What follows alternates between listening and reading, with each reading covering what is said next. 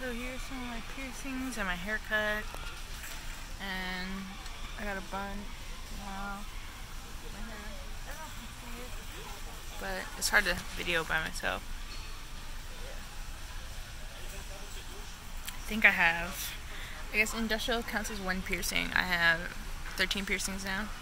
And uh, 19 tattoos. I'm gonna get 21 uh, on Monday. I'll have two more. Hopefully. I hope so. Yeah.